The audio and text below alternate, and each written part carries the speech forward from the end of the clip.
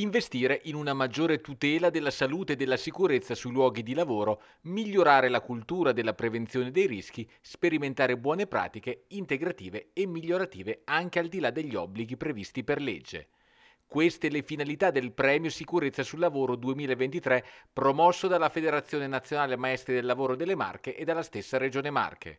Sicurezza sul lavoro che nell'ultimo anno ha visto distinguersi in particolare cinque aziende, una per provincia, meritevole del premio assegnato oggi alla RBM Tech di Fano, all'Eurotecnica di Osimo, alla Fapi di Montelupone, alla Dami di Sant'Elpidiamare, alla Panicchi di Ascoli Piceno, più un premio speciale assegnato alla Buffarini di Falconara riconoscimenti applauditi dall'assessore regionale Aguzzi. Magari spesso passa un po' sotto traccia questa situazione, si parla spesso di crisi aziendale, si parla di ripresa, si parla di investimenti e non sempre si parla di sicurezza sul lavoro che accompagna invece tutto questo percorso e lo accompagna spesso in maniera purtroppo molto dolorosa con molti incidenti. Seppur c'è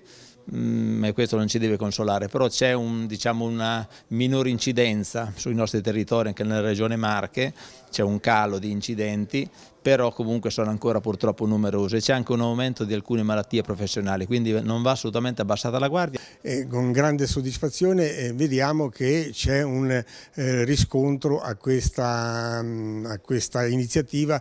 perché la sicurezza del lavoro è molto importante